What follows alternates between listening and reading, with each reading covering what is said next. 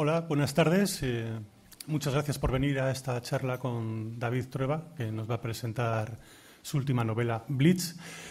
Y que, bueno, eh, mantendré una charla con él, le haré algunas preguntas y luego abriremos un turno para que vosotros pues, interroguéis sobre las cuestiones que, que creéis pertinentes y que seguro que serán muchas, teniendo en cuenta al hombre tan multidisciplinar que tenemos hoy con nosotros.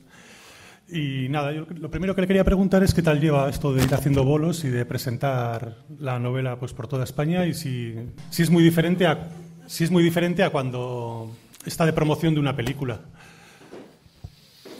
Eh, hola, buenas tardes a todos. Gracias por venir. Eh, es diferente, sí. Las películas son más eh, comprometidas de presentar porque pones, eh, sueles poner la película, ¿no? Y es como si ahora aquí pues alguien leyera la novela, ¿no? De principio a fin, pues yo me iría. Me iría a un bar o algo, que es lo que hago durante las proyecciones, y luego volvería y, escucharía las preguntas y trataría de contestar. Pero en ese sentido, las, las, películas, digamos, se, se, ejecutan delante de ti, ¿no? Y el libro es más privado, en el sentido de que cada uno se, se va con el libro, los que quieran leerlo, lo leen también en su intimidad eh, y es un acto más, más particular ¿no? del lector, más privado de él. Y es verdad que a veces te encuentras en muchas ocasiones pues eso con gente o que la está leyendo, que la ha leído, o que la acaba de leer, o que la acaba de comprar, o que y, entonces eh, eh, yo me pongo muy nervioso cuando me encuentro a alguien y me dice, estoy leyendo tu libro.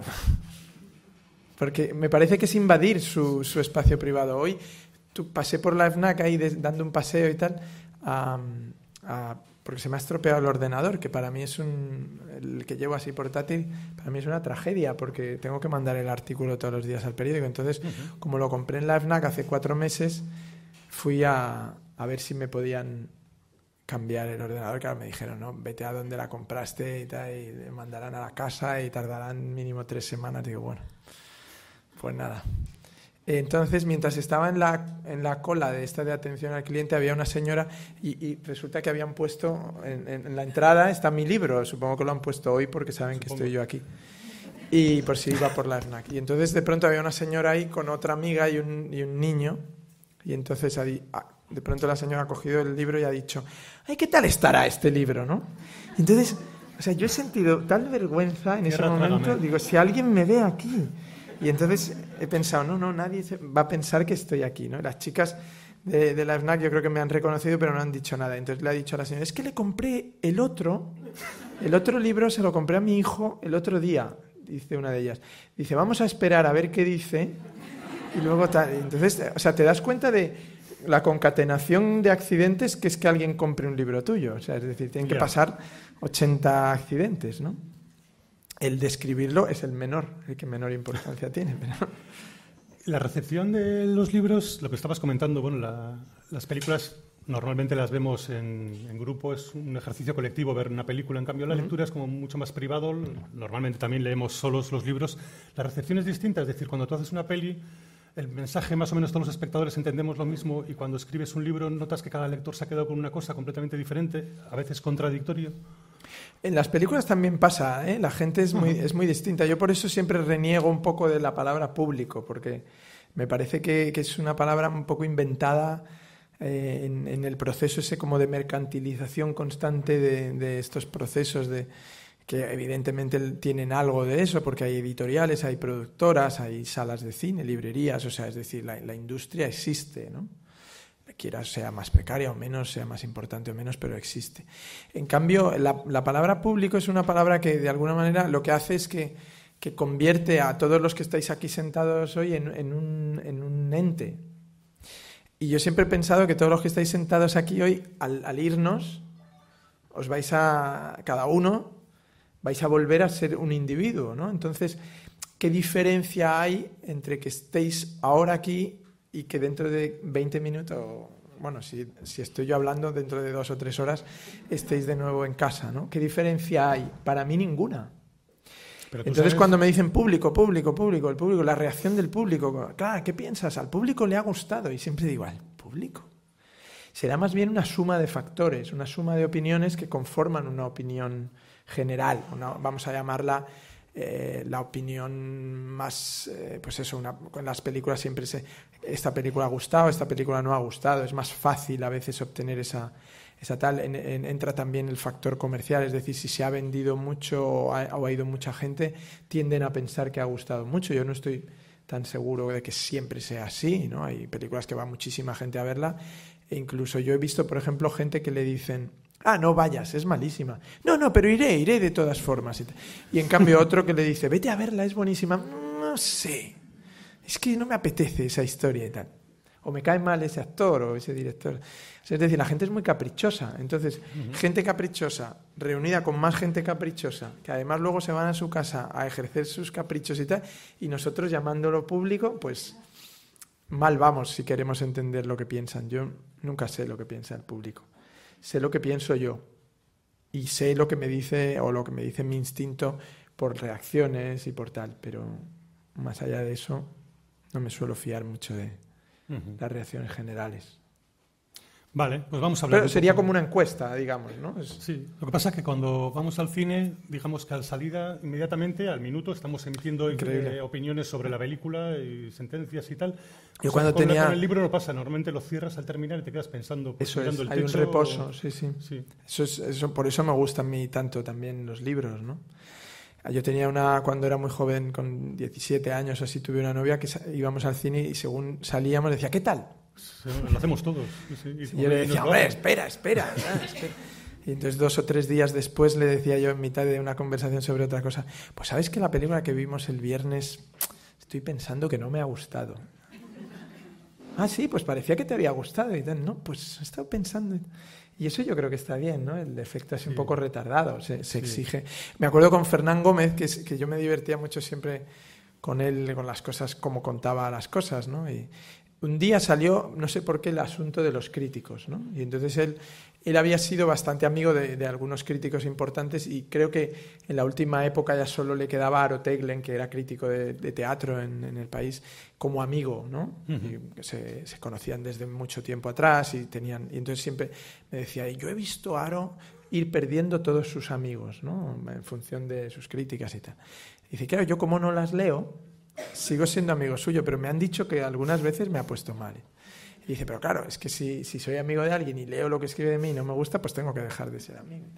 Y entonces, para no dejarlo, he hecho esto. Y dice, porque además, tú fíjate que a los críticos siempre eh, se les critica mucho. Y es muy injusto, porque nosotros, que más que menos nos pasamos eh, haciendo una película entre escribirla, rodarla, montarla y estrenarla, pues en su época a lo mejor era más rápido, pero ahora casi dos años, un año y medio, ¿no? Y decía Fernando, dice, claro, nosotros año y medio. Si escribimos un libro, pues dos años escribiendo el libro, ¿no? Y el crítico es que ve la función y rápido se tiene que ir a su casa y en cinco minutos escribir la crítica. Es normal que lo haga mal. claro, es muy precipitada la crítica, hombre, ojalá. Entonces Fernando hacía una cosa muy graciosa que era que, su mujer le recortaba las críticas. Como ellos tenían una especie de teatro en el que vivían, ¿no? Que alguna gente se asustaba porque a veces el teatro consistía en una discusión muy teatral, por, por tontería, o sea, por... Mm, yo les he visto un día gritarse por, un, por el, eh, edificio ese de San que hay en Madrid, que es redondo, que habréis pasado por la M30, que parece una colmena, ¿no? Y que y, entonces eh, discutían porque la mujer de Fernando decía que era precioso y que era una cumbre de la arquitectura y Fernando decía que, era horroroso y que no se podía vivir ahí, que era una... Y entonces esto acabaron a gritos, ¿no? Pero era totalmente una obra de teatro, ¿no? Que estaban representando. Y, entonces hacía uno, y esas cosas que hacían teatrales era que ella recortaba, o sea, decía, aquí sale la crítica, Fernando. Y entonces la recortaba y la guardaba en una carpeta y ponían el título. Y cuando pasaban 15 o 20 años decía, baja, baja las críticas del viaje a ninguna parte. Y se pasaban a lo mejor 20 o 30 minutos, ja, ja, ja, ja, fíjate. Tan. Y yo que creía que esta la habían puesto bien y tal. Había ese. Y eso está bien. O sea, en realidad el tiempo suele dar más perspectiva que, que la inmediatez. Por cierto, ¿has mandado el artículo ya? Sí, sí, sí, hoy sí. Vale. Pues háblanos un poco de Blitz, Mañana... es una historia de amor que a la vez tan contemporánea y por otro lado tan, tan fuera de, de, de época, tan, tan extraña en la literatura de hoy en día, ¿no? Sí, es que todo es... Que no entiendo de dónde te... Todo es contemporáneo, ¿no? En, esto en, el cine yo siempre lo digo, cuando la gente dice, he hecho una película de la posguerra, por ejemplo, ¿no? que transcurre en los años 50, y yo siempre digo, es que es mentira. Las películas son del momento en el que se hacen. Otra cosa es que traten del pasado, pero lo tratan... Eh, esto se ve muy claramente, por ejemplo, con el cine de ciencia ficción, ¿no? hay una manera de, en los años 70 cuentan de una manera la ciencia ficción, en los 80 de otra, en los 90 de otra, en ahora de otra. Y, tiene, que ver, tiene que ver siempre con, con la época, los miedos, las, las, torturas mentales de cada época en la que están viviendo. ¿no? Entonces hay una época pues, que la gente tiene miedo al fin de la humanidad, eh, la gente es más ecológica, otra época donde la gente es más ambiciosa tecnológicamente, entonces descubriremos vida en otros planetas, ¿no? haremos tal. Ahora es que, que este planeta va a dejar de existir y hay que buscar dónde irnos a vivir. ¿no? Pero eso no es, eh, o sea, no es futurismo, eso es presentismo con la idea de futuro. Pues lo mismo exactamente hacia atrás. Tú ves las historias del siglo XVII que ahora atraen y es para contar a la gente de ahora. Y entonces no existe, no existe la época, ¿no? El, relato de época, no existe la película de época, la novela histórica no existe. Todas las novelas son contemporáneas, ¿no? hablan del tiempo en el que el escritor vive es entonces tú dirás, pues ¿de qué trata esta novela? Trata de cómo en, el año 2015 se, ve el siglo XVII o la dinastía, a la reina Isabel. Pues ahora a la reina Isabel la ven así, los del 2015. Si te vas al año 1947 ¿no? y ves otra película sobre la reina Isabel, pues ves que, que, el problema lo tenían entonces, era otro problema. ¿no? La pobre reina era igual la pobrecica siempre pero es muy distinto como se... Entonces el, tiempo... Eh, esta novela nace de... Mm, no lo sé de dónde, pero es que siempre es muy difícil definir el, momento en el que nacen, pero hay algo de necesidad también a la hora de contarla, ¿no? Eh, al principio siempre piensas que estás contando algo lejano a ti porque te has, no sé, te ha, llamado la atención algo y luego vas descubriendo, avanzando, avanzando la historia, que también hay, estás contando muchas cosas de, cómo ves tú tu tiempo, tu mundo. Entonces, había algo en, eh, hay algo en una generación que ahora tiene 30 años, ¿no? Que, que, yo percibo en ellos que hay una sensación como de que les ha fallado el país, ¿no?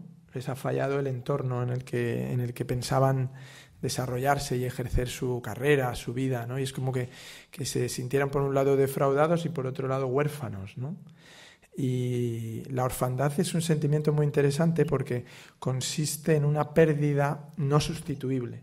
Porque en general las pérdidas, por ejemplo, lo, perdón, lo de mi ordenador hoy, pues es una pérdida reparable, ¿no? Entonces vas, te compras otro, o te lo arreglan o lo que sea. Eh, muchísimas cosas, pero en cambio, la, claro, la orfandad está asociada a la pérdida de tus padres. Y tú, aunque conozcas a alguien mayor, incluso otra persona, que te, que te cuide porque has perdido tempranamente a tu padre no sustituye a tu padre, ¿no? Y, es interesante ese, ese, grado. Entonces, eh, con el país pasa un poco eso. Tú te puedes ir de tu país, pero tú nunca vas a dejar de ser del lugar donde creciste, ¿no? donde pasaste la infancia. Entonces, eso es una situación muy dolorosa. Y la sensación más dolorosa es cuando estás pensando si hacerlo o no. porque, claro, vas a un sitio, te desplazas a un sitio, lo ves, dices, ah, pues oye, eh, aquí en Buenos Aires pues se podría vivir muy bien, ¿no? Y, pero eh, claro, echaría de menos a tal, echaría de menos esto. Y, y esa, ese es un sentimiento muy... Y cuando... La, la, sensación de que aunque vuelvas no vas a encontrar lo que, lo que estás buscando en tu país es una sensación de abandono. Eso era un punto de partida. El otro lo descubrí avanzando en el libro. Y tenía que ver con una cosa que me había pasado a mí cuando tenía 21 años, y vivía en ese momento en Los Ángeles estudiando en una escuela que, que, me fui a estudiar cine después de vender un guion del guion de Motuca Marrica me fui a estudiar que es lo que tiene que hacer todo el mundo cuando se profesionaliza ¿no? y, y entonces bueno Es una historia un poco larga de contar, no cuenta, sé si... cuenta. ¿Sí? sí, sí, sí, ya lo creo. No es muy morbosa, pero tiene algo que ver con el libro porque finalmente acabó trasladado al libro la, la anécdota, ¿no? En particular, que es que yo, yo trabajaba para un periódico haciendo crónicas para intentar vivir, ¿no? Entonces, como en Los Ángeles no había enviados especiales de los periódicos, ni los hay al día de hoy, la, la industria del cine norteamericano se, se cubre mucho por, o por Nueva York. Que no suele ser habitual que, pasen por allí, o por ruedas de prensa en Europa o en la propia España. A veces vienen y hacen la promoción, pero, pero si los medios tienen a alguien destacado en Los Ángeles, pues tienen la ventaja de que tienes antes, eh, y sobre todo antes, que pasaba tanto tiempo entre el estreno en Estados Unidos y ahora es más inmediato. Pero entonces hacía entrevistas, reportajes, algún comentario sobre cosas de música, de cine, de tal, allí. Y entonces mandaron a una periodista mayor, como de- en ese momento tendría cincuenta y tantos años, que yo admiraba mucho a cubrir y estábamos haciendo... Y entonces me llamó y me dijo, oye, necesito que me seas mi guía aquí, me, tal, porque yo no tengo ni idea de esta ciudad, ni conduzco, esto es un coñazo y tengo que hacer estas No entrevistas. des más pistas que tal". vamos a adivinar quién es. ¿eh? ¿Eh? Sí. No, no, claro, no, no debo dar muchas pistas, pero el caso es que trabajando con ella y tal, un día nos hicimos muy amigos, ¿no? Y muy, o sea, como, qué bien, ¿no? Y, y entonces una tarde me dice, oye, necesito un sombrero. Los que habéis trabajado en periódicos y en radios sabéis que los periodistas jóvenes tienen, tienen que hacer de todo para los periodistas maduros, por lo menos antes. Ahora yo creo que también menos, ¿no? Antes los futbolistas jóvenes no dicen que tenían que, ilustrar las botas a los, a los veteranos. Ahora esto es imposible que pase, ¿no? A los jóvenes dan de hostias a los veteranos cuando llegan ahí. Quítate tú y tal. Que me... Pero entonces sí que había eso. Entonces, un sombrero. Y yo dije, ah, bueno, pues un sombrero. Aquí hay un barrio y tal de sombreros muy bonitos. Y, tal. y la llevo y tal. Y entonces compró. Yo, yo ni entraba en las tiendas, yo me quedaba fuera. Entonces, yo tenía en clase un compañero que tenía un coche muy particular, que era un coche viejo. En Estados Unidos les gustan mucho, hay esos coches preciosos y tal. Y tenía un coche antiguo, una especie de Chevrolet y tal, de los años 70. Entonces era un coche muy reconocible. Entonces, al salir de comprar el sombrero, en la felicidad esa que le entra a la gente cuando compra, eh, pues yo creo que llevada por la euforia, ¿no? Me agarró así del brazo, me dijo, ¡ay! Tal, es que me encanta estar contigo, tal, no sé qué, no sé cuántos, y apoyó su cabeza en mi hombro mientras caminábamos por la calle. Entonces, yo, imaginaros, como un hombre de 21 años, siempre es como, oh, ¿qué, qué está pasando aquí, no? Hay algo que, que no he... o que, que- que está pasando algo más de lo que yo soy consciente pero tampoco tenía por qué. El, el caso es que de pronto, al, al ir a cruzar la calle, apareció ese coche tan reconocible de mi compañero Todd. Y entonces eh, se paró o se iba a parar delante del semáforo en el que nosotros estábamos esperando. Y entonces justo se abrió para cruzar y entonces íbamos a pasar delante de él. Entonces yo hice así, ¿no? Aparté no violentamente, pero me aparté y pasé. Y entonces andando libre. Y entonces él, mi amigo pitó desde dentro del coche. Hizo pip, pip. Y se asomó y tal. David, David, tal. Ah, sí, sí, hasta luego. Y entonces cuando acabamos de cruzar, ella me dijo, sí, sí, has hecho bien. Que no crean que estás liado con una vieja. Textualmente estas palabras. Entonces yo me pasé como 10 minutos intentando como hablar de otra cosa. Nada, nada, pero que va, si esto tal. no". Y bueno, ¿te puedes creer que, que cuando empecé a escribir la historia no tenía esa, esa escena en mi cabeza, ni ese momento, ni esa... Entonces estaba de pronto un día escribiendo o reescribiendo más bien un, un momento de la novela y, se me ocurrió que podía pasar que él en un momento dado, fija- es, es un poco distinta la escena, que él, claro, el, el protagonista tiene 30 años, hay una mujer de 63 con él que le acoge del brazo, y, y en este, o sea, van andando y de pronto hay una chica de su edad apoyada en un coche que levanta la cabeza y le, y le mira y entonces él eh, aparta el este.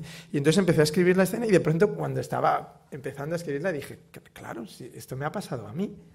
Y entonces me, me- de pronto dije, claro, ahora entiendo muchas cosas, entiendo de dónde salen las cosas. ¿no?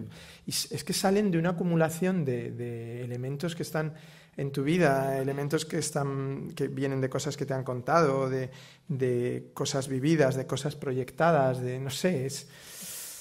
Y claro, vosotros eh, siempre preguntáis, ¿de dónde nace? ¿Cómo nace esta historia? ¿Cómo nace esta película? ¿Cómo tal? Y claro, contarlo es contar tu vida. Sí, claro. Y claro, y por eso yo al final esa pregunta, por eso nos lleva 25 minutos ¿eh? contestar. Pero es muy difícil porque claro, tienes que contar todo, porque todo nace porque está preparado para nacer el terreno, ¿no? Y, entonces siempre, de, de, pronto tres años después de hacer un libro, de hacer una película, vas andando por una calle tan tranquilo y de pronto dices, ah, claro, ahora sé por qué escribí eso, ¿no? Que cuando te, pregunto, te preguntamos por la novela, enseguida nos empiezas a hablar del protagonista y tal, cuando para mí hmm. el, el gran hallazgo de la novela es eh, el personaje de esta mujer, de esta mujer alemana de 63 años, me llama muchísimo la atención que cuando has contado una anécdota la gente se ría, porque me ha parecido muy triste y bueno, me revela. Y, además también me sorprende que lo confieses, porque no es. Sí, que cuentes esa, historia realmente. Cuando es una cosa que revela igual no la parte más noble de nosotros mismos. No, claro, claro. Eh, y por eso he contado. Eh, revela el grado de de, daño que puedes causar siempre en función de, manejarte según lo que piensan los demás, ¿no? o lo que los demás pueden interpretar. Pero eso, de eso trata una parte importante del libro, ¿no? y de esa actitud un poco miserable ¿no? de, una persona joven con respecto a una persona mayor, en el sentido de, bueno, sí, pero esto no me puede pasar, no me puede estar pasando. Ya quedan pocas cosas donde uno diga, esto no me puede estar pasando a mí, ¿no? Y, es bonito explorarlas porque casi siempre responden a todos esos elementos que tú tienes dentro que crees que no los tienes dentro. Eh, la expresión española tan, que es muy hermosa, ¿no? El qué dirán, que es, es perfecta como construcción, ¿no? El qué dirán, mucha gente lo asocia a los elementos, digamos, que la sociedad tiene asumidos como, valores, ¿no? Y entonces transgredirlos, pues te preocupa. Pero el que dirán realmente es qué diré. Y, ahí es donde está el, conflicto, ¿no? Es decir, en qué medida los prejuicios de la sociedad son tuyos, los has asumido, y en qué medida estás dispuestos a rechazarlos. Entonces, ahí el personaje tiene, yo creo, sus, sus grandes, sus momentos más bajos y sus momentos más altos, ¿no?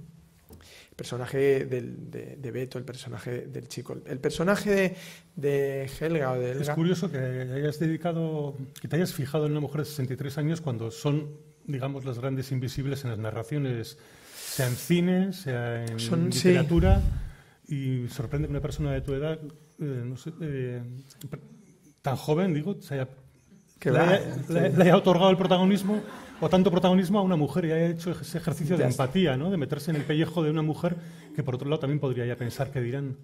Sin embargo, se le ve como más sí. de vuelta o... Bueno, uno, uno, siempre crea los personajes y reinventa un poco el, mundo, ¿no? Eh, no estoy tan lejos de una mujer de 60 años, ¿no? O sea, es decir, aparentemente sí, pero, pero de edad, por ejemplo, ya estoy casi, casi a la misma distancia que del de 30. ¿no? En cualquier caso, terrible, no suelen tener un papel las mujeres de 60 años en No, y cuando lo tienen, tienen además un papel muy arquetípico. O sea, es decir, una mujer seductora tipo. No tienen sexualidad a los 60 años, las mujeres en la ficción. Y cuando la tienen es porque son perversas. O sea, son, son eh, una mujer seductora que ha mantenido vampiresa, hmm. mayor, que, que, se aprovecha o que alecciona a un joven de una manera como muy Mrs. Robinson, ¿no? Y, y el joven además siempre prefiere a la hija, ¿no? Y eso es un drama. Y, y, claro, yo quería un poco luchar contra eso, es decir, es decir, no hacer una persona que quiere seducir, sino todo lo contrario, que es la primera sorprendida de que haya podido seducir nada de lo que ella ha dicho, porque no ha dicho nada con esa intención, ni por supuesto tiene actitud, incluso está convencida de que ha cerrado ese capítulo de, su existencia, cosa que, es muy interesante también en general en, en esas edades. ¿no? A mí siempre me ha gustado interrelacionar a las generaciones. Me parece que uno de los grandes defectos de la sociedad española contemporánea es el, la, separación en, departamentos estancos de las personas por sus características, y una de ellas la edad. ¿no? Perdona, ¿sabes? Además lo leí en el país hace ya bastantes años.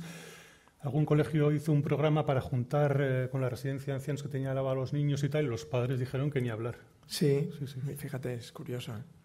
En cambio, porque era una cosa que antes se pasaba en las casas, ¿no? Eh, en la mía convivían cuatro generaciones en, la misma casa y era algo muy enriquecedor, ¿no? De salida era muy empobrecedor porque limitaba mucho tus movimientos, tu espacio, todo. Pero, y, más cuando solo había un cuarto de baño, ¿no? Que, que eso hacía, era verdaderamente complicado. Ahora lo pienso y digo, ¿cómo, cómo se resolvía ese conflicto? Con la rapidez. Como la mayoría de los conflictos, ¿no? Se resuelven muy rápido. que no se note. Y, o sea, yo no recuerdo... O sea, sí recuerdo las mañanas, el orden, el, el, que todo el mundo sabía quién entraba, o sea, en qué orden iban las duchas por el horario de cada uno y si uno prolongaba tal. Y, mi padre era el único que tenía libertad por, para ir, interrumpir cualquier proceso que otro estuviera haciendo porque eh, estaba estreñido. Entonces, en el momento en que tenía ganas de ir al baño, eh, es decir, eh, se paralizaba el mundo, ¿no? Entonces era sal, sal. Entonces podías encontrarte a mi hermana con una toalla así empapada en el pasillo y, y otro tal y mi padre allí, ¿no? Bien triste. Pero a la larga, a la larga, ese proceso de vivir tan acompañado estaba bien. Y luego, en la sociedad era muy habitual que un niño pasara muchas horas con el abuelo o con un vecino más mayor que tenía un poco más de tiempo para tal, o, el viejito del barrio, del pueblo, tal, que les, que les divertía mucho, que jugaba con ellos porque tenía a lo mejor más disponibilidad que, que, los padres trabajando, etcétera, ese tipo de hermanos mayores, hermanos pequeños. Ahora este proceso ya casi no lo permite, ¿no? Eh, y, entonces eso, claro, cómo eh, recuperarlo sin perder la independencia y las familias pequeñas y... Eso se ha perdido. sí, se ha perdido. Entonces, claro, es difícil. Seguramente en los colegios la artificiosidad esa de meter a unos señores mayores ahí, pues los propios profesores dicen, oye, que aquí estamos para dar clase, no estamos para compensar el este. Pero, pero entonces en ese, es importante que, que en la vida hagamos ese esfuerzo por, por plantear situaciones donde, donde se produce ese encuentro. Y una de ellas, pues, es, por ejemplo, negando las etiquetas, ¿no? Es decir, pues este barrio es gay, pues ¿por qué es gay? Eh, o esto es un centro de ancianos, ¿por qué es un centro de ancianos? O sea, ¿quién lo dice? O esta es música de gente mayor, o esto es eh, cine para niños. Esto... Todo eso, tratar de romperlo y de, y de quebrarlo, ¿no? Y de... Y hace años me pasó, yo siempre con mis hijos he ido a ver películas de adultos y también de niños, pero He tratado de, llevarles a ver películas de adultos, incluso a veces excesivamente adultas para sus edades, que seguramente los he tarado como me taré yo a mí mismo de pequeño, cosa que está bien. Pero una vez me llamó la atención que estaba sentado yo ahí con mi hija y tal, y, entró una señora y nos vio, y entonces se sentó como en, la, en el otro pasillo y tal. Y cuando faltaban tres o cuatro minutos para empezar la película, se giró y me dijo, oye, perdona, esta es la película esta francesa, ¿no? De no sé qué, no sé cuántos. Una sala subtitulada y tal. Y digo yo, sí, sí, sí, es, es en esta. Dice, ah, es que pensé que me había equivocado, como he visto a la niña. Y yo dije, no, no, el que me he equivocado soy yo. me dice, ya, ya veremos, ya veremos. Y Entonces se levantó luego al acabar y dijo, pues ha estado muy bien, ¿verdad? ¿A ti qué te ha parecido? Y se puso a hablar ahí con mi hija y como dos espectadoras estupendas, claro, como debe ser. Sí, yo creo que hay que romper esas, entonces es verdad que en mis películas eh, y en mis novelas hay mucha fricción generacional. ¿no? Suele haber personajes de todas las edades y de todos los... Ahora que lo dices, quizás. Sí. Pero es algo también que ha surgido naturalmente. ¿no? En la novela, no sé si muchos la habéis leído, pero bueno, tampoco descubro nada si digo que el protagonista y su entorno, pues es, el protagonista es un paisajista y David en la novela a través de uno de sus amigos e incluso también del propio protagonista pone en su boca un discurso que, bueno, que es muy demoledor porque es, desnuda mucho las mentiras en las que en las que están envueltas mucha gente de esta relacionada con la cultura, ¿no? Y que lo podemos ver en muchísimos suplementos culturales con arquitectos que el titular es, para mí el principal es el elemento humano. Y luego ves sus edificios y no encuentras la puerta. Y bueno, pues eh, en la novela también se desnuda un poco todos esos discursos un poco vacuos y ¿no? a través del personaje de... Sí, sí, siempre, hay un arquitecto estrella que dice, los arquitectos estrellas han muerto, ¿no? Eh, bueno... Eh, eh, todos, los paisajistas y tal que llevan... se han convertido peor que los cocineros casi. El paisajismo, oh, ya quisieran. No, no, no les hacen ni la mitad de caso que a los cocineros. Los cocineros ahora mismo son las estrellas. Solo tienes que ver con quién ligan las chicas guapas, con cocineros. Eso es siempre las, las, presentadoras de tele y tal, no sé por qué. Las cocineras, ¿no? No están tan prestigiadas. Pero bueno, el, el, el paisajismo, todo viene de que hace años escribí una, un artículo que se llamaba, vamos, todo viene, algo de eso viene, que se llamaba ¿Para qué sirve un paisaje? Que luego en la novela vuelve a hacerse la pregunta. Yo escribí ese artículo porque no sé qué leches me había pasado, pero que había vuelto a un sitio donde había estado muchos años antes y me había, o sea, había sido como catárquico el paisaje con respecto a tus sensaciones y tal. Y me di cuenta que los paisajes están muy asociados a las experiencias de cada uno, ¿no? Es como el barrio, ¿no? los edificios de tu barrio, tu infancia, tu aquí pasó esto, aquí pasó lo otro, ¿no? Esas cosas conforman una parte de ti. Entonces, ante algo que tiene tantísima importancia sentimental y emocional, es curioso cómo entra la, maquinaria ¿no? y lo destruye sin ningún recato. Entonces hay un montón de gente eh, que, con esa cierta orfandad, o sea, que vuelve a buscar algo que, le retrotraiga o que, siga el decorado de aquel tiempo y ni siquiera está el decorado. ¿no? y ese malestar que provoca, esa sensación de que ha perdido, ¿no? sus raíces se las han cortado. Y, y, entonces escribí un artículo en, el periódico sobre ello y tal. Con tan buena fortuna de que a los dos o tres meses me llamaron de una escuela de arquitectura en Barcelona que habían organizado un simposio internacional de paisajistas y que querían que yo diera la charla inaugural o, una esta eh, y sobre el paisajismo. Y entonces yo les dije, no, pero debe haber un error y tal. Eh, yo no tengo ni puñetera idea de paisajismo, o sea, no sé ni qué carrera hay que estudiar para hacer eso, ¿no? Y siempre además me ha parecido absurdo que, que haya un paisajista teniendo la playa de la Concha, ¿no? Existe ahí tan... Y, que venga alguien y diga, pues yo voy a hacer un paisaje aquí, pero déjalo, si ya está, Es muy humilde, el, paisajista tiene que ser muy humilde, porque lo mejor... De hecho, en, en la novela se dice, ¿no? Que que el paisaje más maravilloso siempre lo ha creado, no lo ha creado nadie. ¿no? Sí, pero no lo son, ¿eh? ¿Eh? No, no, no, lo, son, no lo son. Y, y entonces, bueno, di... Eh, eh Digo paisajista. Bueno, me, explicaron que ¿eh? querían una conferencia de un ignorante y que entonces la podía dar yo. Y entonces dije, mm. ah, vale, vale, pues perfecto. Y entonces fui a Barcelona, di la conferencia y, y era como, imaginaros, como esto de aquí hoy, pero todos paisajistas. O sea, acojonante, ¿no? Y, entonces cuando acabé y tal, pues me hicieron preguntas, tal, no sé qué, y yo les hice preguntas a ellos. Y luego nos fuimos a cenar, pues el grupo que lo organizaba, que eran paisajistas todos y tal, de diferentes países y tal. Y claro, yo siempre me paso todo el rato, aunque aquí me toque hablar a mí, pero en general luego me, me gusta preguntarle a la gente. Y, me, y entonces empecé a preguntarles, pero pero ¿y vosotros? ¿Y tú por qué te dedicaste a eso? ¿Y tú por qué tal? Y, ah, claro. Y, entonces, ¿y ahora de qué vivís? Y esto tal, y no sé qué. Y entonces, pasados unos años, me volví a cruzar con un paisajista en otra, en otra reunión. Entonces me dijo el tío, bueno, estábamos hablando de no sé qué y dijo, bueno, supongo que no habrás oído nunca hablar de mi trabajo y tal, pero soy paisajista y tal. Digo, bueno, no solo he oído hablar de tú, sino que conozco a Binfred tal, no sé qué, a Manfred tal, estuve cenando con ellos. Y, ¿En serio? ¿Conoces a...? Es que les di una conferencia. Y entonces eh, eh, eh, me empezó a contar y era ya empezaba la crisis. Y entonces le dije, bueno, ¿y qué, qué tal te va? ¿Qué haces? Dices, nada. O sea, el paisajismo en España es lo primero que han suspendido todos los ayuntamientos. Salvo, y, además me dijo, salvo el de San Sebastián, que le han nombrado capital cultural, y entonces ahí estamos, hemos presentado un par de proyectos a concursos a ver si sale algo y tal.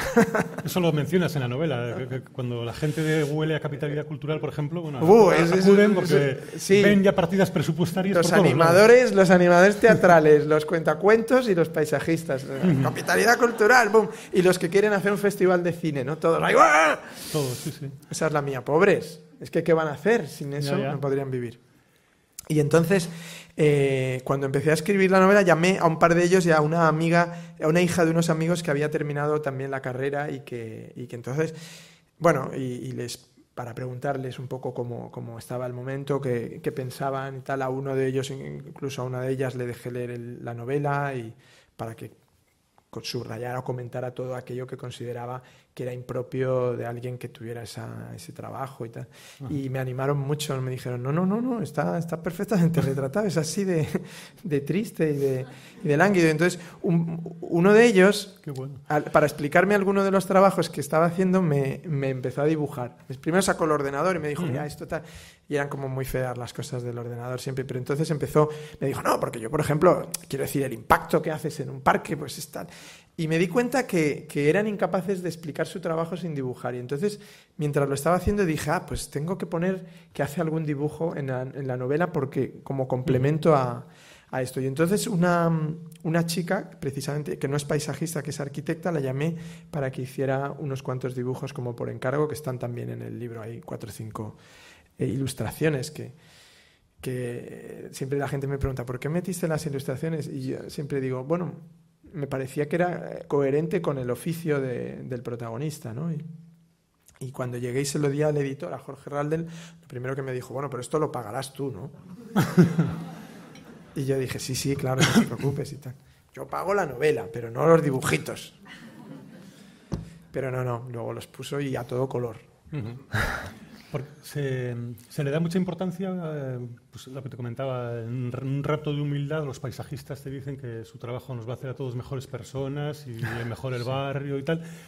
Se le da mucha importancia a que los niños crezcan rodeados de presunta belleza y tal, y, luego no se le da ninguna importancia, por ejemplo, a que aprecien el valor de un libro y se les da a cambio un cachivache, que es un libro, para mí, el libro electrónico o cualquiera de estos, y no se le da importancia a que el niño conozca una biblioteca, Ah, bueno, el, rodeado, el, rodeado de libros y este todo el rodeado de pantallas que estéticamente ya es un aparato feo, es decir, no tiene ninguna belleza en sí mismo.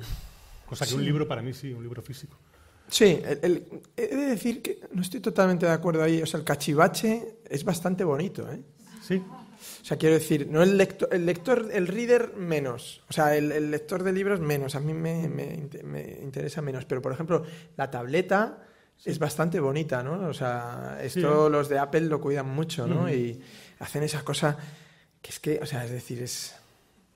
¿no? O sea, a la vez yo entiendo a los niños y a los adultos, o sea, se tiran ahí a tocar, a tocar. Y es difícil, o sea, es decir, es, es, el tiempo en el que está. De hecho, el protagonista, su paisajismo acaba revirtiendo hacia, hacia ese campo. ¿Por qué? Porque el campo de la expansión de la telefonía y de la, y de la interconectividad está muy, muy desarrollado. De hecho, a la gente le están vendiendo que no salga a casa y le están vendiendo el mundo en, su casa, ¿no? Y, no solo lo están vendiendo, sino que lo están consiguiendo vender. Es decir, que, en ese sentido están teniendo un éxito increíble estas empresas, ¿no? Connecting People. Y, y entonces, eh, claro, la calle, ¿qué tiene la calle, ¿no? De atractivo.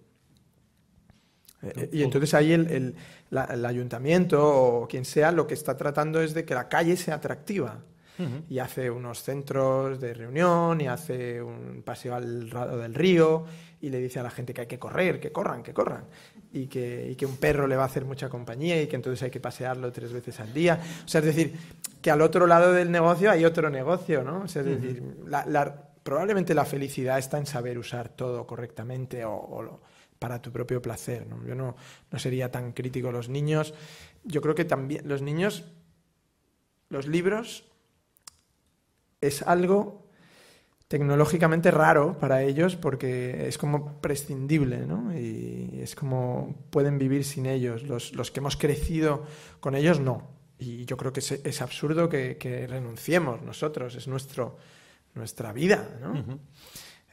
Quiero decir, podemos integrar lo otro, pero no vamos a... Hay gente que le da miedo, ¿no? Paso mañana es el día del libro y se sacan los puestos a la calle con los mismos libros que están ah. ya en la librería disponibles, exactamente los mismos. Y pues dice, no, para que la gente pierda el miedo a entrar en la librería. Sí, yo esto también me llamaba la atención. parece que están hablando de otro tipo de comercio, no sé. Sí, pero de hecho han hecho una, una, frase promocional que la he visto en una librería en San Sebastián y la había leído en el periódico el otro día que dice, un día sin leer es un día perdido. ¿No?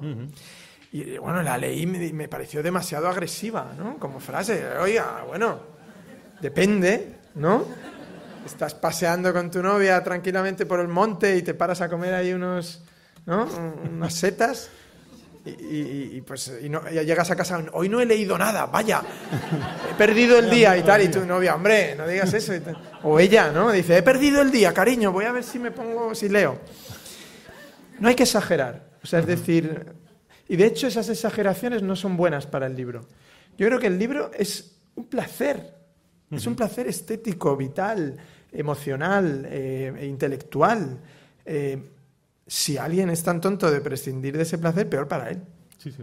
Peor para él. Pero tampoco hay que decirle, pero usted es idiota, usted no se da cuenta que se está matando, que se está matando con eso. Y, y, no sé. Y los chicos, o sea, yo tengo la experiencia de que también hay niños que leen y jóvenes que leen y jóvenes que han dejado de leer pero vuelven a leer después. O sea, hay un periodo donde la vida es muy excitante y el, la interconectividad ayuda muchísimo a tener relaciones luego en la vida real. ¿no? Porque yo me acuerdo que me pasé tres años para declararme a la madre de mis hijos, ¿no? ¿Ah, y, o, ella a declarárseme a mí. Y esto con un móvil lo habríamos arreglado en 30 segundos. Pero teníamos ese, ese pudor, ¿no? El prurito ese de... O tú interpretabas los gestos, las talas, no sé qué, la amistad, sí, qué amigos somos, tal, y no sé qué. y ahora, si me dicen si lo hubiera cambiado, es decir, si ahora me dicen os doy un móvil a cada uno en ese momento y lo arregláis la primera noche, ¿no? Que cenas, eh, tal, que bien hoy, que me ha gustado esta chica, que este chico me ha parecido muy interesante, entonces tú mandas un mensaje, no te lo he querido decir, pero estabas guapísima, eh, tú no, pero me has gustado mucho, o sea, no sé, y la gente lo arregla, pim, pam, ¿Sabes lo que le pasa a la protagonista de la novela, verdad? Sí, lo sé, lo sé, pero... que se equivoca de número y se lo manda a quien no debe. pero eso porque también llega, llega ese momento, ¿no? La tecnología sirve para reproducir lo mismo que la vida, las cosas buenas, las cosas malas. Pero yo no lo cambiaría, porque esa experiencia seguramente me...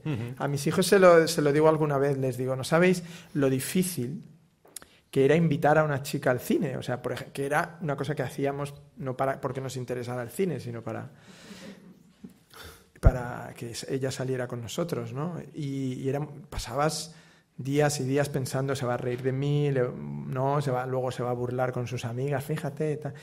Ahora es más fácil que, aunque también he visto a gente enseñando el mensaje, mira lo que me manda. Eh, pero no estás delante, ¿no? No tienes la sensación. Pero es que no podemos cambiar el tiempo que hemos vivido, ¿no? Pero tampoco podemos inventar el tiempo nuestro, o sea, reinventarlo para ellos. Es, otro mundo, es otro mundo distinto y tiene sus virtudes, sus ventajas, sus desventajas. Son románticos o entrarán en el romanticismo a su manera, entrarán en la decepción a su manera, entrarán en el en, la bueno en las dificultades a su manera. Todo es más todo es más directo, todo es más rápido.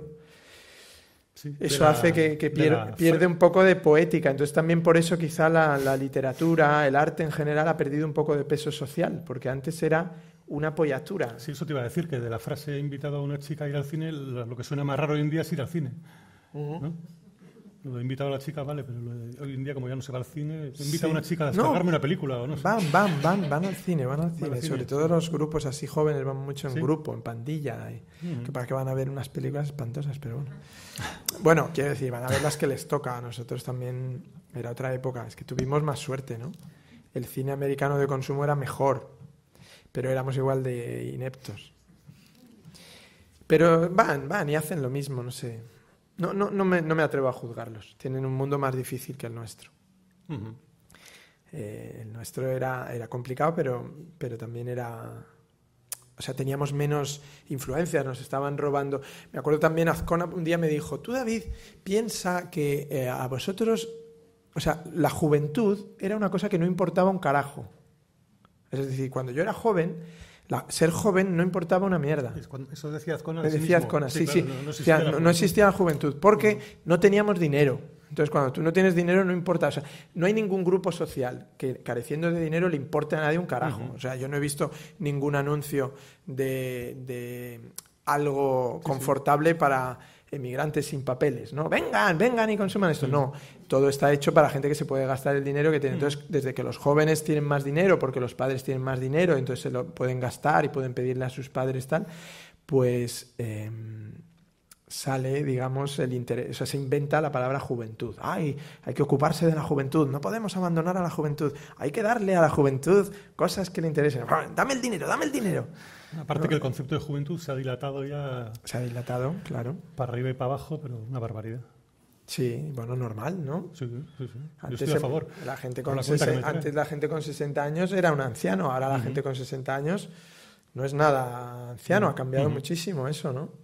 Es, está por vivir, está, mucha gente está viviendo su segunda juventud, porque algunos incluso tuvieron la suerte de prejubilarse con una prejubilación y pueden vivir, vamos, te diría que prácticamente son la parte más envidiada de, de la sociedad, ¿no? Sin duda. y y a veces hasta en el parque corren más deprisa que los de 20. O sea que es...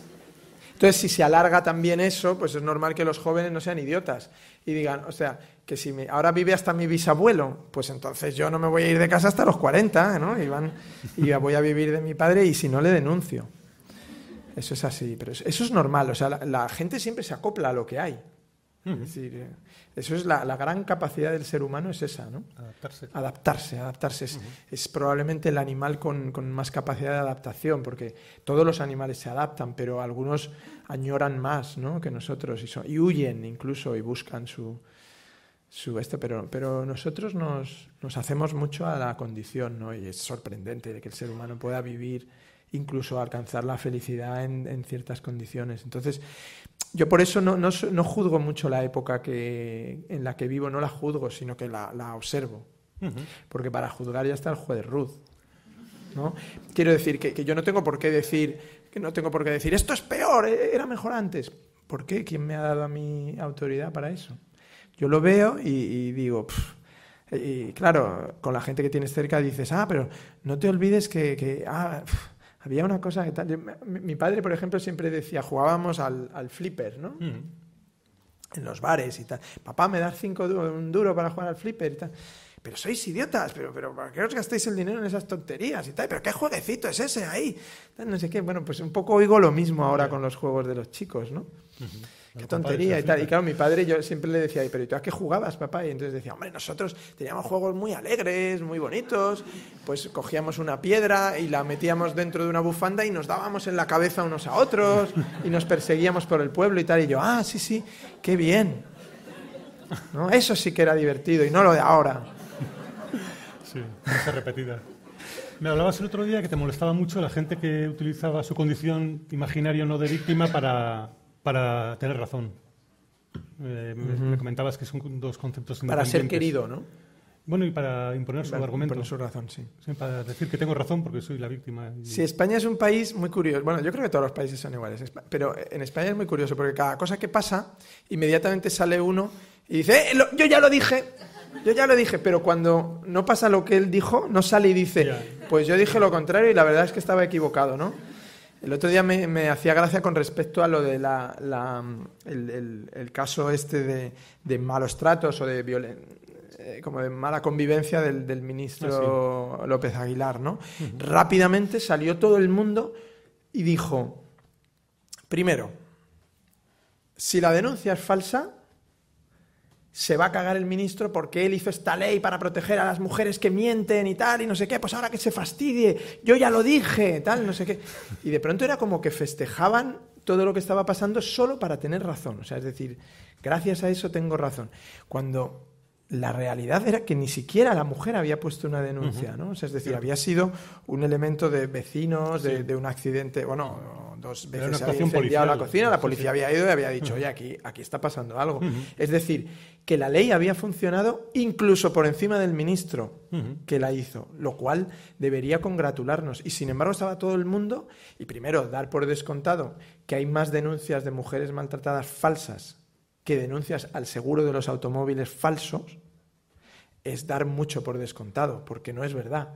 Entonces, ¿por qué tienen tanto interés en decir que las denuncias de las mujeres son falsas. Y no dicen, oiga, pues el índice de denuncias falsas de al seguro de que me han robado en casa o de que el coche me lo he roto yendo a no sé dónde es muchísimo mayor. Y no veo a los articulistas diciendo, basta ya, basta ya, que alguien pare a todos los que están engañando a Mafre. Por eso es, ¿no? Y, claro, hombre, es verdad que humanamente lo otro es muy duro cuando hay una denuncia falsa, pero se supone que es como todo, o sea, es decir, que, hay unos jueces y hay un mecanismo para desvelar la mentira, porque claro, también eh, lo, que es increíble es que no se hiciera nada anteriormente ¿no? con, respecto a eso. Y todo el mundo sabe que el porcentaje es pequeño y que, y que por, por, supuesto, al que le toque la denuncia falsa, pues que se ate los machos porque tendrá que pelear, pero como tiene uno que pelear por otras cosas, ¿no? por su dignidad y por su pero lo que es terrible es que la gente use todo para tener razón.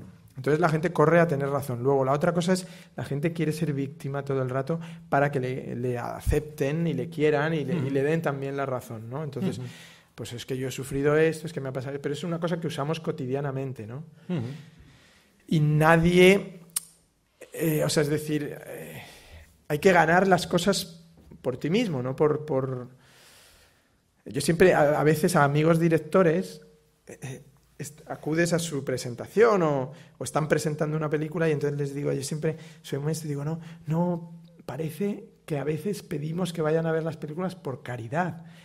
nadie va a ir a ver una película por caridad, nadie va a comprar un libro por caridad. Lo van a comprar porque les apetece. Entonces, por muy víctima que te hagas de, la sociedad, de tal, de no sé qué, no, eso no va a servir. Entonces, pero tenemos esa tendencia, ¿no? Una cierta tendencia, yo que sé, alguien te ha prestado dinero, el día que le tienes que devolver el dinero, le has prometido, oye, la semana que viene te lo devuelvo, vas, es que no sabes lo que me ha pasado, por qué tal, por qué no sé qué. En lugar de apechar, ¿no? Con, la consecuencia de, de, lo que te habías comprometido, aunque tal. Entonces el otro te va a entender también si le dices, mira, eh, no te puedo contar por qué, pero, pero necesitamos ¿no? justificar todo y, hay mucho de eso, ¿no? Y, me daba miedo con respecto a, la, algo que cuenta la novela, que, que haya una generación ahora, que eso, que tiene entre 25 y 30 años, que en un momento dado se equivoque y utilice la crisis como una excusa para no hacer lo que quiere hacer para no formarse en lo que se quiere formar o para no hacer laboralmente lo que quiere hacer o, estar en los aledaños de eso. Yo creo que, que ese tiempo es único en tu vida y, no hay una generación en España que lo haya tenido fácil, ni una. Entonces, eh, ahora le ha tocado esta crisis brutal pero tiene que conseguir no convencerse de que siendo una víctima de esa crisis va a llegar a un sitio mejor. Siendo una víctima lo único que va a conseguir es que se apiaden de él, pero no hacer lo que quiere hacer. Lo que quiere hacer tiene que pelear por hacerlo, aunque sea, eh, como digo yo, el personaje en un momento dado, con un mimo, ¿no? O sea, es decir, un mimo también inventa una casa y un cristal y hace esas tonterías que hacen los mimos tan odiosas. Pero, pero te lo hace ver, ¿no? y tiene mérito. Y la sociedad española, pues a veces está condenada a ser un mimo, ¿no? A decir, imaginad que aquí hay. Hacer. Pues eso, ¿no? No puedes ser arquitecto paisajista eh, y trabajar para el Ayuntamiento de Madrid o de San Sebastián o de no sé qué, pero seguro que puedes hacer algo. O sea, no, no, no lo dejes, ¿no? No, no te. No pienses. Ha, ha, habido una cosa estupenda con la, con la crisis. Cuando yo era estudiante era muy habitual que te dijeran, pero ¿por qué vas a estudiar eso si no tienes salidas? Yo me acuerdo el, disgusto de mis profesores en el instituto cuando les dije que quería estudiar periodismo. Me dijeron, pero si eso no es una carrera ni es nada, David, hombre, por favor, con tus notas, lo que te ha costado a ti sacar estas notas y, lo vago que eres. Y, no, y entonces me decían, pero estudia algo más, más práctico y más útil. Y yo les decía, pero es que para mí lo más práctico del mundo ahora sería es vivir de escribir y, como yo veía el cine lejano, veía la literatura lejana, o sea, es decir, que no era tan fácil y tal, pensaba que escribiendo el primer sueldo lo iba a ganar en el periodismo, ¿no? Entonces, aparte me gustaba mucho el periodismo. Entonces, e, era lo más cercano a mi vocación y a mi supervivencia. Y no entendía por qué pensaban que, que otra cosa. Entonces, cuando alguien estudiaba algo sin vocación, porque le habían convencido, de que era una salida profesional y tal, me lo he encontrado ahora, pues deshecho porque no le gusta el trabajo que hace, eh, tiene mi edad, es decir, está ya en... Pero eso se ha agudizado ahora, ¿no? De gente que aparta a un lado su vocación. Y no, porque ahora no, hay, no hay nada que tenga salidas.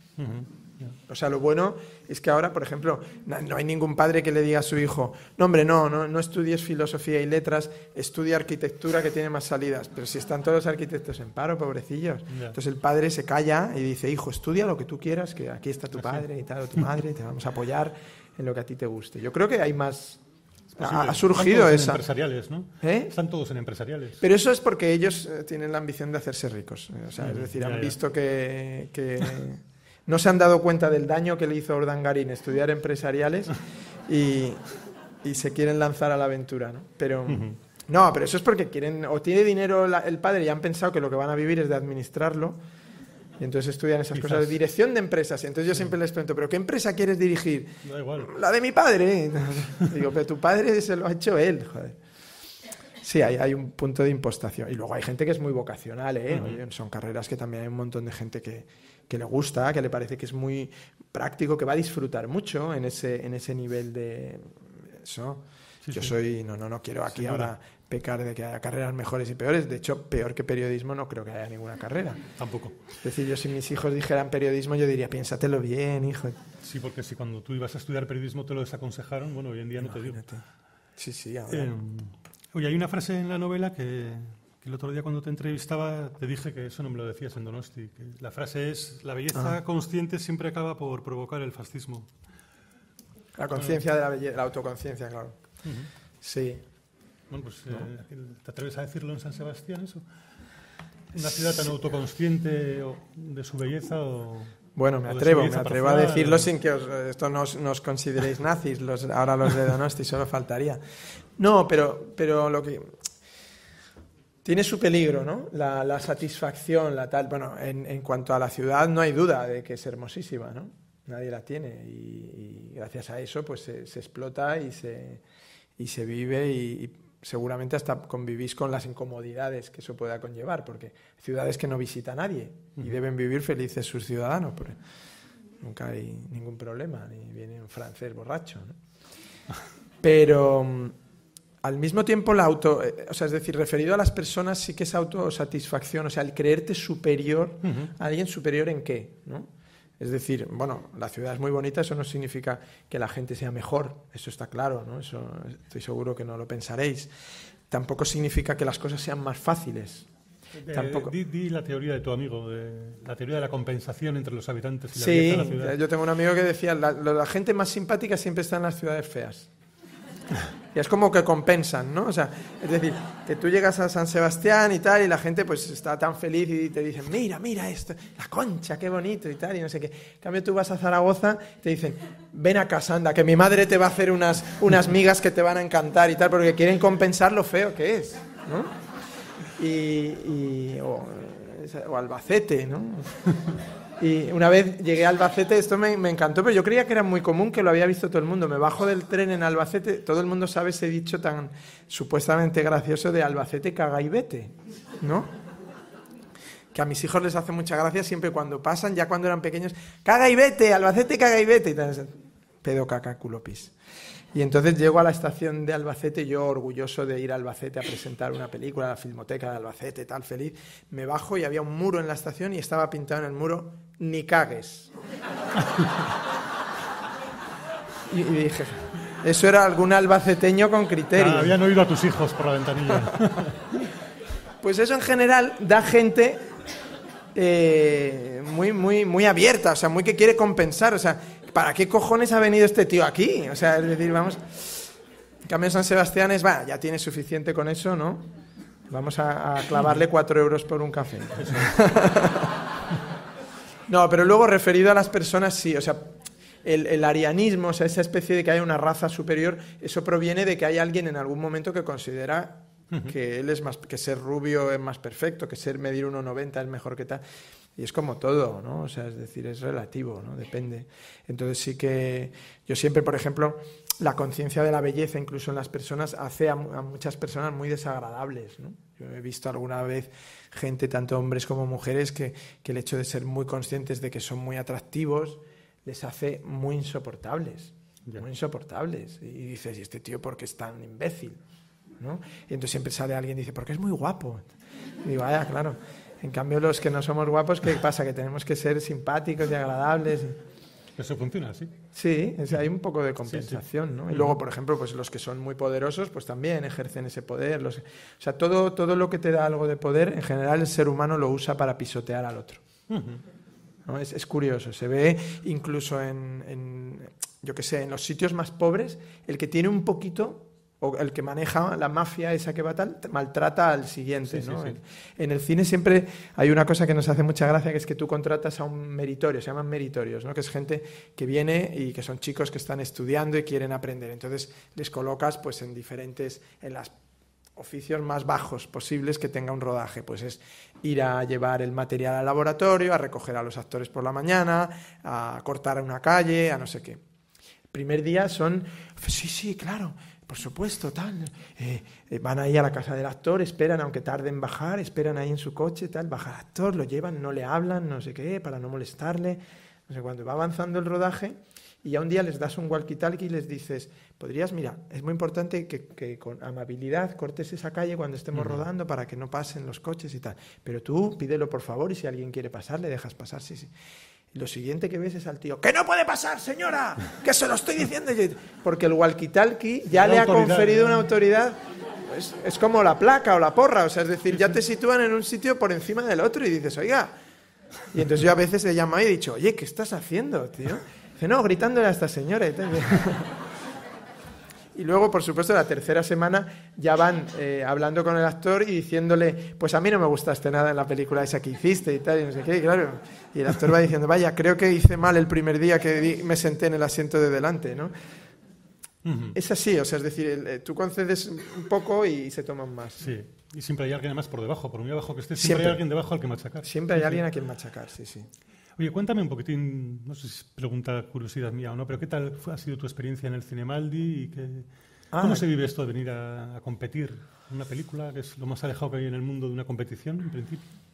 Sí, las películas yo no compito nunca, o sea, de hecho te ponen a competir todo el rato en, en, las películas, en los libros, en tal, en que si las ventas, que si la taquilla, que si la crítica, que si las estrellitas, que si el festival, que si no sé qué. Son cosas que aceptas hacer promocionalmente para la película, ¿no? Para, porque es muy difícil dar, llamar la atención sobre lo que tú has hecho, entonces es muy difícil que, que la gente, entre todos los impactos que tiene propagandísticos, elija el tuyo. Entonces un festival te proporciona una plataforma de lanzamiento de la película y tal.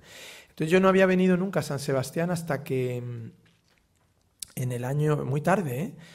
en el año, había venido al festival, porque mi uno de mis primeros trabajos fue con un amigo, estos trabajos de periodista, con un amigo inglés, eh, tenía una revista que cuando es el festival se hace diaria, que, ah. que ahora se llama Moving Pictures. o Variety, ¿no? Y que antes se llamaba Moving Pictures, antes Screen International, tal. Y era un amigo inglés que yo había conocido, un tipo estupendo. Entonces este un día me dijo, oye, ¿quiere, necesito un fotógrafo, ¿tú sabes hacer fotos? Sí. Eh, necesito un fotógrafo en el Festival de San Sebastián, pero tiene que estar todo el festival, porque tiene que hacer fotos en las ruedas de prensa, en las entrevistas que haga, tal, en no sé qué. Y yo dije, ¿todo el festival? me dijo, sí, yo, yo, yo. Y entonces vinimos y, me hospedó, él, se hospedaba en un hotel tipo Londres, el tal, y a mí me hospedaba en una cosa que llamaba la Cuesta del Culo, entonces, por ahí arriba unas pensiones un poco caóticas y tal, pero para mí era feliz. Entonces él me decía, mira, hoy tienes que hacer esto y esto. O sea, que la primera vez que viniste, viniste como fotógrafo acreditado. Sí, sí, sí, vine dos veces. ¿Qué año fue? 1987, 88, 9. Y, entonces me lo, o sea, yo tenía que hacer esas fotos y tal, pero luego tenía el día libre, entonces eh, hacías las eh, hojas de películas, te metías con el pase a las que pudieras ver, sacabas entradas por la noche, veías todo lo que podías. la felicidad, aparte vas haciendo amigos. Entonces el festival, bueno, siempre es como muy agradable ¿no? para, para el espectador. ¿no? Para el director concursando y tal, ya la cosa es más seria. Entonces, la primera vez vine con La silla de Fernando, una película que hice con Fernán Gómez, que era él hablando, y que me pidieron que la pusiera en una sección paralela. Mm, y, por supuesto, vine y era, era, feliz porque estás invitado a San Sebastián, pero además no compites. No compites. Proyectas la película y todo tan feliz y todo tan a gusto. Y cuando te preguntaban. Y luego vine con Madrid 1987 y me decían, ¿y no te gustaría competir? Y tal. Y yo no, no, no, mucho mejor estar en una sección sin competencia porque vienes relajado, tal, no sé qué, y hasta que convivir es fácil, vine a competir. Y efectivamente cuando compites es todo más, más raro porque te tienes que ir rápido, porque si no te estás encontrando todo el rato a los críticos, al jurado, al no sé qué luego estás pendiente de los premios, te premiarán, te darán algo, le darán algo a alguien de la película o no. Estás siempre sufriendo, ¿no? La competición es un coñazo. imagínate, entre jugar en el recreo y jugar en la semifinal de Champions, pues pierdes, o sea, ganas trascendencia, relevancia, pero pierdes eh, placer, eso está claro, pasas a tener una responsabilidad, sobre todo porque piensas, ay, qué bien le vendría si le dan un premio a la película, porque es total. Y pero han sido agradables y luego las, las, sensaciones siempre han sido muy buenas con el público, con los pases de público y tal. O sea, tengo un muy buen recuerdo. He ido ya a todos los festivales prácticamente, porque ya tengo unos años de profesión y, o sea, no a todos, pero a los más importantes he estado en todos, he competido en la mayoría de ellos, tal, y San Sebastián sigue siendo uno que mucha gente además me lo dice en el extranjero, que, que, que es un festival que les encanta porque la ciudad es preciosa, se come de maravilla, es algo que todo el mundo destaca, es muy buen, aunque llueve algunos días, pero es una buena temporada, tal, comparado con Berlín, por ejemplo, o con Sundance, ¿no? Que llegas y hay siempre nevadas y tal, pues es, es, muy agradable. La gente tiene. Me acuerdo que hace años me encontré a Chabrol y tal, que venía siempre a San Sebastián, y entonces le dije, ah, señor Chabrol y tal, que eh, yo soy español y tal, y viene usted siempre a San Sebastián. Oh, me encanta ese festival. No, no sé, todavía no sé si el festival es bueno o malo, pero qué maravilla, qué bien se come, qué tal. Era muy glotón, ¿no? Pero estaba feliz el tío. Muy bien, y yo lo único antes de abrir el turno de preguntas quería preguntarte por una serie que os recomiendo a todos, que es la que fue de Jorge Sanz. ah, sí. ¿Por qué se terminó tan abruptamente o se quedó tan corto? O no, da para eh, más la historia? O... la historia da para mucho más. da para mucho más, por desgracia. no, no, es, em, es, que fue una serie que nació un poco, que fue de Jorge Sanz, nació un poco accidentalmente. Es decir, fue una serie que yo inventé cuando Jorge estaba eh, le habían ofrecido una serie y no le gustaba, entonces vino a verme para ver si... Y, le habían dicho en la productora, bueno, si, si, esta serie no te interesa, propon tú una. y, y, entonces vino a casa y me dijo, ¿no tienes algo por ahí guardado? Y nos fuimos a comer y yo, pues, no, no, no tengo nada, ninguna idea y tal, pero no, bueno, pero se puede buscar algo, a ver qué te gustaría hacer, qué tal, no sé qué. Entonces hablando, yo le dije, hombre, habría una serie, Jorge, que tú tendrías que hacer, que es una serie basada en ti, en, tú tienes una particularidad que nadie tiene, que muy poca gente tiene, que es que todo el mundo te ha visto crecer en la pantalla, hacerte mayor desde niño a mayor, que todo el mundo sabe que has sido el, joven más guapo y deseado del cine español en una época donde no había tres, sino uno solo. y, y, ahora te ven... ¿no? Y tienes mucho menos trabajo y todo tal, y te pasan cosas horribles en la vida y tal. Y, entonces sería perfecto que la gente viera eso, cómo es la decadencia, ¿no? La... Y entonces Jorge, ya, pero joder, qué gracia tiene eso. Y digo, hombre, tiene muchísima, muchísima, Jorge, porque, porque es que es lo mejor que uno puede hacer, que es, que es festejar lo que te está pasando. Tiene también que ver con la edad. Con el, a mí, cuando yo empezaba con mi primera novela, me incluyeron en una generación que entonces se llamaba Generación X, que consistía en que éramos unos jóvenes que teníamos que ser de una determinada manera que dependía de unos libros que habían tenido éxito y tal. Entonces yo me acuerdo que yo estaba ahí y yo decía, pues esta generación, ¿quién cojones ha inventado esto? Yo aquí no me veo, pero tampoco lo negabas porque decías, bueno, el tiempo ya les irá. Y yo a mí me decían, ¿te sientes tal? Digo, yo es que no me siento joven. Hombre, ¿cómo no te vas a sentir joven? Tienes 24 años o 25, has publicado tu primer libro. Entonces yo decía, ya, pero es que cuando yo nací, mi padre tenía 53 años y entonces el esperma estaba caducado. Entonces, eh, claro, no es lo mismo que tu padre tenga 20, 30, ¿no? que, que tenga 53 y tal, es, que ya naces viejo. Y tal. Entonces esto más o menos eh, se lo tomaban como abutad, pero era, era verdad. Yo pensaba, joven es un valor como escritor, inútil. Porque vas a dejar de serlo y vas a tener que justificarte. No es una categoría. no es una categoría, ni, una virtud, ni un defecto, no es nada. Es como si te dicen eres rubio, pues vale. O miope. Sí, sí, pues escritores miopes. Hombre, es que hay una generación de escritores miopes muy interesante. Sería incluso más interesante, a lo mejor, miopes tendrían más... Sí, porque es gente que no ve bien de lejos. O sea, con eso literariamente puede haber algo interesante. Que vas a las playas y siempre hay un amigo que dice, ¡Mira esa tía, mira esa tía! Y tú, ¿dónde he dejado las gafas? no ves nada, ¿no? No puedes bucear, nunca puedes apreciar las bellezas de, de la naturaleza. Se está pidiendo ahora que es una generación literaria. Claro, generación miope. Y, y entonces yo decía, pero es que esto de ser joven es una chorrada, porque cuando tengamos treinta y tantos y tal, ¿qué, vas a decir? Pues sí, yo era de la generación aquella. Y Algunos la han pasado, ¿eh? y luego en la vida pasa también, que la gente dice, ay, la juventud, qué tal, que no sé qué. Yo creo que todas las épocas son, o sea, es decir, es duro, ¿no? Perder la,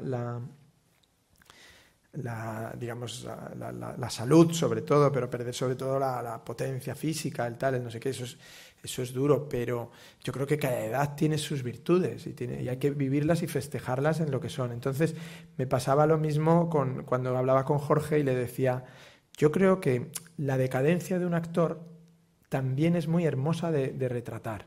Y entonces Jorge, ya, pero entonces, a ver, ¿cómo sería? Y entonces yo le dije, mira, el título sería ¿Qué fue de Jorge Sanz? Y entonces ahí le cambió la cara y dijo, joder, ese es cojonudo. Digo, porque claro, eso no, tú no puedes hacer una, Eso no lo puede hacer Tom Cruise. Porque nadie se pregunta qué fue de Tom Cruise. Primero porque sigue teniendo éxito, pero bueno. Pero porque nadie, o sea, es decir, no ha sido nada, no ha dejado de ser nada. Sigue siendo lo mismo. Digo, y tampoco lo puedes hacer con, con qué fue de Antonio Resines, porque ahí está Antonio Resines. Esto solo lo puedes hacer tú. Y entonces dice, bueno, ¿y en qué consistiría? Pues mira, pues habría un capítulo donde pasaría aquello que te pasó de no sé qué, de no sé cuántos. De Y de pronto él, yo vi que se enamoró totalmente del concepto y, y, me dijo, quiero hacerlo, quiero hacerlo, quiero hacerlo. Entonces, yo le escribí dos folios para que se los llevara a la productora y se los vendiera. Y solo le puse una, una condición, que es que no dijera que yo lo había escrito o que yo lo fuera a hacer, que yo no lo iba a hacer, pero yo no quería trabajar en la tele. Entonces, él fue a un par de productoras, lo presentó y le dijeron, está muy bien la idea, pero no, esto no se puede hacer. No, no hay mercado para esto en España, no sé qué, no sé cuánto. Entonces, Jorge desolado volvió y me dijo, mira, no, no lo consigo hacer. Y yo, vaya, qué lástima y tal, y no sé qué. Y entonces iba pasando el tiempo y nos íbamos viendo y me decía, qué pena no hacer eso, tío. Es que, es que el otro día estaba hablando con mi representante y es que yo estaba pensando, esto hay que meterlo en la serie, es que esto es surrealista. Y entonces, un día le dije, mira, vamos a hacer una cosa, vamos a hacer un episodio y ya verás cómo la gente lo va a ver. Cuando lo vea hecho, lo va a entender. Porque había mucha gente que no entendía, o sea, no lo entendía, eso pasa mucho. Entonces, con, con una serie de, bueno, donde él estaba en ese momento trabajando en el teatro, en tal, en no sé qué, hicimos el primer episodio. ¿no? Yo llamé a amigos para que hicieran los papeles y les daba el texto. Eh, no sabían el episodio, no sabían en qué consistía, pero lo daban y les parecía muy tal. Entonces lo rodamos y un, chico que estaba, es una historia un poco larga, un chico que estaba montando en, la, en el mismo sitio se asomaba y se reía. O sea, se ponía ahí detrás, me decía, ¿puedo mirar? Sí, sí, mira. Estaba yo con la montadora y lo iba viendo y dije, ¿pero esto qué es? Y yo, es una serie. ¿Pero cómo se titula? ¿Qué fue de Jorge Sanz? Pero, pero, ¿y eso es verdad? ¿Le ha pasado eso? digo, no, hombre, no no, no se ha acostado con una tía para que le den un crédito en la caja rural de Soria, pero uh, ha hecho cosas peores, ¿no? Ah, y entonces eh, este chico trabajó para Canal Plus y entonces un día les, les contó, dijo, jo, es que me estoy partiendo de risa, pues está David Trueba montando una cosa. Y los del Plus pusieron como la antena y me llamaron y me, y me propusieron hacer una, una serie. Y mm. entonces yo fuimos a comer y yo dije que no bueno, que no me interesaba, tal, no sé. Entonces me dijeron, pero tú estás haciendo una serie por tu cuenta. Y yo dije, no, no, no. Digo, yo no estoy ahora rodando nada y tal. Sí, sí, ah, tú estás haciendo una serie y tal, pero ¿para quién es? Y entonces yo, pero es que no sé de qué me habláis, que yo no estoy haciendo ninguna serie. Entonces me dicen, ¿no estás haciendo una serie con Jorge Sanz? Y entonces dije, no, no, no, bueno, eso es una larga historia, estoy haciendo, he hecho un capítulo y tal, pero es una cosa, ¿y podemos verlo? Sí, y entonces lo vieron y, decidieron que hiciera episodios. Entonces me propusieron hacer 12 y me pusieron la condición de que yo los tenía que hacer todos, dirigirlos y tal. Entonces yo les dije, yo 12 no puedo hacer, es demasiado trabajo. Digo, podría hacer 6. Me dijeron, vale, pues 6. Y yo dije, pero tiene que tener estas condiciones también por mi parte. entonces me dije, ¿cuáles? Y dije, una, nunca vais a leer ningún guion antes de que lo ruede. Dos, nunca podéis opinar sobre ningún eh, reparto ni ningún actor. Tres, eh, Jorge tiene que cobrar como si fuera creador, guionista y actor, es decir, le tenéis que poner tres sueldos juntos porque está poniendo su nombre su tal, no es solo que contrates a un actor. Y digo, y cuarta, que una vez que estén hechos los episodios, vosotros podéis decir lo que pensáis del episodio, pero sería rechazar el episodio. Es decir, nada de retoques. Nada de retoques y nada de tal. Y no se cambia nada, o sea, no, no aparece una criada porque hay niños, porque tal, esas cosas de las teles, ¿no? Y entonces los tíos increíblemente dijeron, bueno, eh, pero esto claro, entonces, ¿estarías dispuesto a hacerlo por este dinero? Entonces era un dinero tan bajo que, ellos yo creo que pensaban que yo diría que no, entonces me dirían, bueno, pues entonces los guiones tienen que pasar por tal. Y yo dije sí. Y lo hice. Y me lo pasé pipa. ¿eh? Y no solo eso, sino que gané dinero y con ese dinero hice Madrid 1987, que fue con dinero de Jorge, o sea, de, la serie, no de Jorge. que pobrecillo lo debía ya entonces y tampoco le, le sacó de pobre. Pero fue, ha sido una aventura genial, sí, sí. Sin duda. está en DVD y recomiendo a los que no la hayáis visto que la compréis porque lo vais a amortizar en, el primer episodio del gasto. Y que... hicimos una cosa muy bonita que es que se pueden ver los episodios y vernos a nosotros en pequeñito, o sea, comentando el episodio también. Hay una opción de ir viendo el episodio con... yo, no lo había así, pero es verdad que daba sí, la opción. Sí, y me encuentro gente que me dice, he visto con los comentarios, es buenísimo. Porque claro, yo voy contando muchas cosas de Jorge, de por, en qué están basadas, o cómo las hicimos, o qué pasó ese día de rodaje y tal, y son asombrosas, ¿no? Y voy contando quién es quién, por ejemplo, porque estaba llena de actores que no eran actores. Sí, sí, sí. Y bueno, y de cameos. De cameos también, pero... pero además. Sí, pero, bueno, sí, algunos, algunos literarios. Sí, sí.